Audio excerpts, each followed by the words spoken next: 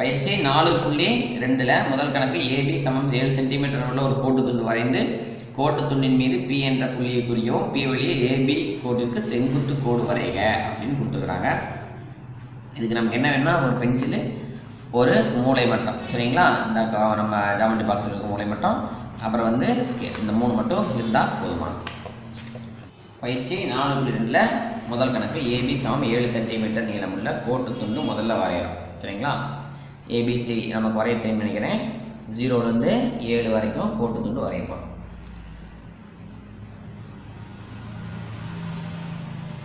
வரைஞ்சாச்சு இப்போ இதுக்கு என்ன பேர் கொடுக்க போகிறோம் ஏ பி இது ஏழு சென்டிமீட்டர் கோட்டு துண்டு வரைஞ்சாச்சு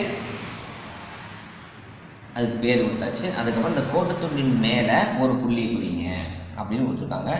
இந்த இடத்துல இப்போ நான் பி அப்படின்னு ஒரு புள்ளி குறிக்கிறேன் சரிங்களா? இந்த கோட்டு துண்டு மேலே பி அப்படிங்கிற புள்ளி குறிக்கிறேன். இப்போ இது வந்து செங்குத்து கோடு எப்படி வரையிறது அப்படின்னு பார்த்தா நம்ம என்ன பண்ணோம் இந்த மூளை மட்டத்தை இந்த ஏற்கனவே வரைஞ்ச கோட்டு மேலே இந்த புள்ளிக்கு பக்கமாக வைக்கணும். புள்ளி கோடு வரணும்னா அந்த புள்ளி வழியாக வர்ற மாதிரி வைக்கணும். அப்போ கரெக்டாக என்ன பண்ணணும்? அந்த கோட்டு மேலே வைக்கணும். சரியாக அந்த கோட்டு மேலே வச்சுட்டு அந்த பி அப்படின்ற புள்ளி வழியாக கோடு வர மாதிரி வரையணும். சரிங்களா? இப்போ பிங்கிற புள்ளி இந்த இடத்துல இருக்கா? ரைட் இப்போது பிங்கிற புள்ளி வழியாக மேலேருந்து இதில் கீழேருந்து மேலே கோடு வரையணும். இதுதான் என்னது? செங்குத்து கோடு. ஏபிங்கிற கோடு வரைஞ்சாச்சு. பிங்கிற புள்ளி குறிச்சாச்சு. அந்த கோட்டு வழியாக மேல் நோக்கிய செங்குத்து கோடு வரைஞ்சாச்சு. அடுத்த இரண்டாவது எனக்கு எல்எம் சமம் ஆறு புள்ளி அஞ்சு சென்டிமீட்டர் அளவில் ஒரு கோட்டு துண்டு வரைக. கோட்டு துண்டின் மீது அமையாதவாறு மேலே பார் கீழே மேலே இல்லைன்னா கீழே பி என்ற புள்ளியை குறிக்க மூளை மட்டத்தை பயன்படுத்தி பி வழியே எல்எம் கோட்டு துண்டிற்கு செங்குத்து கோடு வரைக அப்படின்னு கொடுத்துருக்காங்க நம்ம என்ன பண்ண போகிறோம் எல்எம் ஆறு புள்ளி அஞ்சு சென்டிமீட்டர் முதல்ல ஒரு கோட்டு துண்டு வரைய போகிறோம் ஜீரோ இங்கிருந்து ஆறு ஆறு புள்ளி அஞ்சு வரை வரைச்சிட்டோம் இது வந்து எல் இது எம் இது வந்து ஆறு புள்ளி அஞ்சு சென்டிமீட்டர். சரிங்களா? இப்போ இந்த கோட்டத்துண்டுக்கு மேலே இல்லைன்னா கீழே எங்கேயாவது ஒரு இடத்துல ஒரு புள்ளி குறிங்க. அந்த புள்ளிக்கு என்ன பேர் வைங்க? பி அப்படின்னு பேர் வைங்க. அந்த புள்ளி வழியாக இப்போ செங்குத்து கோடு வரைங்க அப்படின்னு கொடுத்துருக்காங்க. போன கணக்கு மாதிரி தான். இந்த கீழே நம்ம முதல்ல வரணும் இல்லையா? அந்த கோட்டு மேலே மூளை மட்டத்தை கரெக்டாக ஃபிக்ஸ் பண்ணுறோம் அப்படி ஃபிக்ஸ் பண்ணிவிட்டு என்ன பண்ணுறோம் மேலே அந்த புள்ளி கரெக்டாக அந்த புள்ளிக்கு பக்கத்தில் வச்சு நம்ம கோடு அந்த புள்ளி வழியாக போகிற மாதிரி என்ன பண்ண போகிறோம் நம்ம? மூளை மட்டத்தை பக்கமாக வச்சுட்டு அந்த மூளை புள்ளி வழியாக இப்போ கோடு துண்டு சரிங்களா? இப்போ இந்த எட்ஜ் வரைக்கும் வரைஞ்சோம்னா என்ன ஆகும்னா இந்த மூளை மட்டத்தோட எட்ஜ் வந்து லைட்டாக வளைஞ்ச மாதிரி இருக்கும். அதனால வளைவாக போயிடும் இந்த இடத்துல லைட்டாக வளைஞ்சு பார்த்தீங்களா அந்த மாதிரி வளைவாக போயிடும் அதனால் எட்ஜ் வரைக்கும் கொண்டு வந்து கொஞ்சம் பெண்டிங் வச்சுட்டு திருப்பி நீங்கள் எடுத்து கூட வரைஞ்சி விடலாம். இந்த பிங்கிற வழியாக நம்ம செங்குத்து கோட்டு துண்டு வரைஞ்சாச்சு. இப்போ அடுத்து மூன்றாவது கணக்கு பார்ப்போம். இந்த மூன்றாவதுல கொடுக்கப்பட்ட ஒவ்வொரு ஜோடி கோடுகளுக்கும் இடையேயான தொலைவை இரு வேறு புள்ளிகளில் மூளை மட்டத்தை பயன்படுத்தி கண்டறிய அவை இணைகோடுல எப்படி சோதிக்க அதாவது இந்த ஜோடியில் இது இந்த இடத்துலையும் இந்த இடத்துலையும் டிஸ்டன்ஸ் பார்க்கணும். ஈக்குவலாக இருந்தால் இணைகோடு இல்லைன்னா இணைகோடு இல்லை. மூளை மட்டத்தை பயன்படுத்தி உயரத்தை கண்டுபிடிங்க. கண்டுபிடிச்சா எவ்வளோ வரும்னு பாருங்கன்னு கொடுத்துருக்குறாங்க. இது பாருங்கள் சரியாக ஒரு சென்டிமீட்டர் வருது இந்த இடத்துல.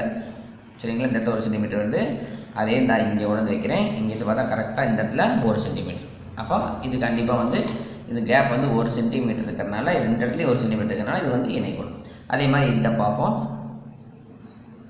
இது எவ்வளோ இருக்கு பாருங்கள் ஒன்று புள்ளி ரெண்டு சென்டிமீட்டர் இருக்குது இந்த லாஸ்ட்டில் வச்சு பாருங்கள் அதே தான் ஒன்று புள்ளி ரெண்டு சென்டிமீட்டர் வருது.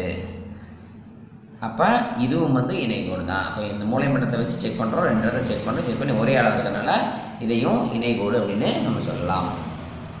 அடுத்ததாக நான்காவது கணக்கு.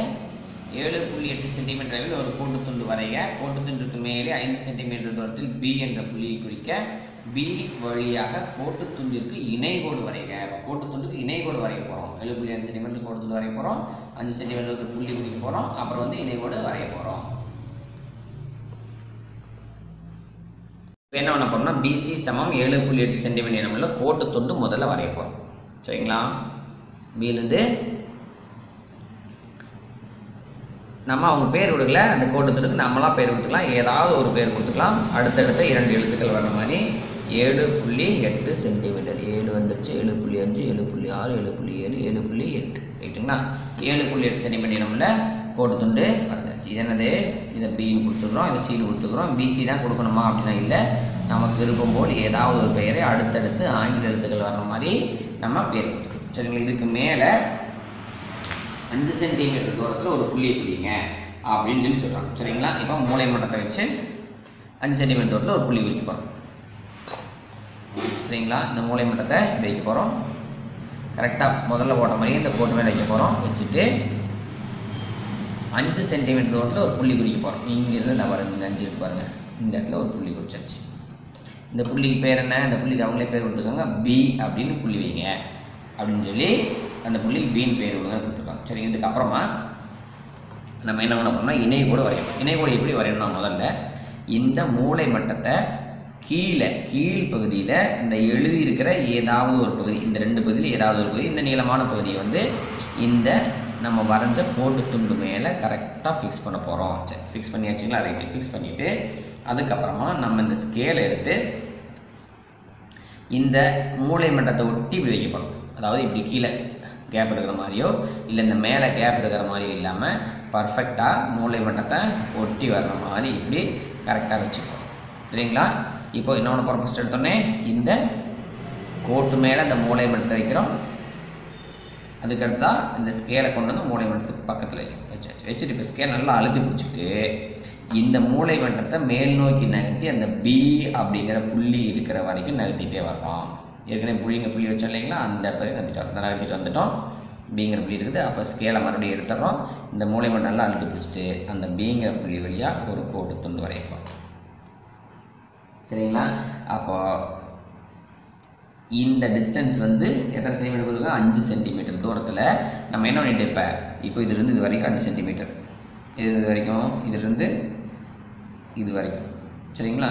இதுலேருந்து வரைக்கும் அஞ்சு சென்டிமீட்டர் நீளம் இருக்கிற மாதிரி இந்த ஏழு புள்ளி எட்டு சென்டிமீட்டர் கோட்டு துண்டுக்கு மேலே நம்ம இணை வரைஞ்சிட்டோம். ஐந்தாவது கணக்கு ஒரு கோடு வரைய கோட்டிற்கு கீழே அஞ்சு புள்ளி நாலு சென்டிமீட்டர் தூரத்தில் ஆறு என்ற புள்ளியை குறிக்க ஆறு வழியை கோட்டிற்கு இடைக்கோடு வரைங்க அப்போ ஒரு கோடு வரைங்க அந்த கோட்டோட நீளம் நம்மளுக்கு எவ்வளோன்னு தேவையில்லை எவ்வளோன்னு கொடுக்கல. அதனால ஏதாவது ஒரு கோடு அதுக்கு ஏதாவது ஒரு பேர் கொடுத்து போடணும். சரிங்களா? இது அளவு தேவையில்லை. இப்போ என்ன இருக்கலாம் பிக்யூன்னு கூட வச்சுக்கலாம். சரிங்களா?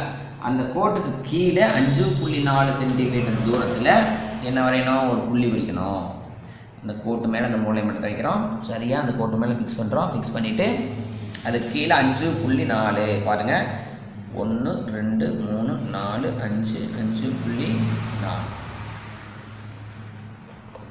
அஞ்சு புள்ளி நாலு. இப்படி கூட வச்சுக்கலாம். இல்லை இப்படி கூட வச்சுக்கலாம். நீங்கள் எப்படி வச்சுக்கலாம். ஒன்றும் பிரச்சனை இல்லை. இப்படி வச்சு கூட கீழே அஞ்சு புள்ளி நாலு செக் பண்ணிக்கலாம். அஞ்சு வச்சிங்கன்னா அஞ்சு புள்ளி நாலு. அப்போ இந்த இடத்துல புள்ளி இருக்கு. இந்த புள்ளிக்கு என்ன பேர் கொடுத்துருக்குறோம் ஆர் அப்படின்னு பேர் கொடுத்து சொல்கிறாங்க சரிங்களா? இந்த ஆர் வழியாக இந்த கோட்டுக்கு இணைகோடு வரைகன்னு கொடுத்துருக்காங்க. நம்ம என்ன பண்ண போகிறோம் அதே மாதிரியே தான் அந்த கோட்டு மேலே இந்த மூளை மட்டும் தான் கரெக்டாக ஃபிக்ஸ் பண்ணுறோம் ஃபிக்ஸ் பண்ணியாச்சு. பக்கத்தில் ஸ்கேலை ஒட்டி வைக்கிறோம். சரிங்களா? ஸ்கேலை கரெக்டாக பர்ஃபெக்டாக வைக்கணும் இந்த பக்கம் கேப் இப்படி கேப் இல்லாமல் கரெக்டாக பர்ஃபெக்டாக வச்சாச்சு. இப்போ இந்த பக்கம் நகர்த்த முடியாது வச்சுட்டு அப்புறம் மேல் நோக்கி நகர்த்தணும் இல்லைங்களா? மேல் நோக்கி நகர்த்தணும் கரெக்டாக வச்சாச்சு. மேல் நோக்கி நகர்த்துறது பார்த்தா இப்போ என்ன பண்ண போகிறோம் கீழ் நோக்கி அந்த புள்ளி இருக்கிற இடத்த நோக்கி நகர்த்திட்டு வரோம் அந்த புள்ளி வந்துடுச்சு பாருங்க. ஸ்கேல் நகர்த்தக்கூடாது. ஆனால் கீழே மேலே போனால் பிரச்சனை இல்லை. மேலே கீழே நகர்த்திக்கலாம். ஆனால் ஸ்கேல் நகர்த்தக்கூடாது. ஸ்கேல் நல்லா பர்ஃபெக்டாக அமைத்து பிடிச்சிங்க. புள்ளி கரெக்டாக எந்த இடத்துல வச்சா புள்ளி வழியாக கோடு போகும்.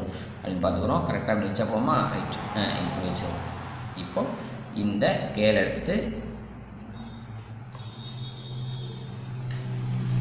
அப்போ இந்த டிஸ்டன்ஸ் தான் என்ன இருக்கும்? அஞ்சு புள்ளி நாலு. இதுலேருந்து இது வரைக்கும். இது வந்து ஒரு அடையாளத்துக்காக போடணும்? அவ்வளோதான் அஞ்சு புள்ளி நாலு சென்டிமீட்டர் நீளமுள்ள இந்த பிக்யூங்கிற கோட்டுக்கு ஆர் அப்படிங்கிற அஞ்சு புள்ளி நாலு சென்டிமீட்டர் தொட்டிலுக்கு ஆறுங்கிற புள்ளி வழியாக ஒரு இணையோடு வரைஞ்சாச்சு இப்போ இந்த வீடியோவில் இருக்க படமெல்லாம் உங்களுக்கு பிடிச்சிருக்கும் புரிஞ்சிருக்கும் பிடிக்கிறேன் பிடிச்சிருந்தா அப்படின்னு லைக் பண்ணுங்கள் சப்ஸ்கிரைப் பண்ணுங்கள் ஷேர் பண்ணுங்கள் மீதி உள்ள கணக்கில் அடுத்த வீடியோ பார்க்கலாம்.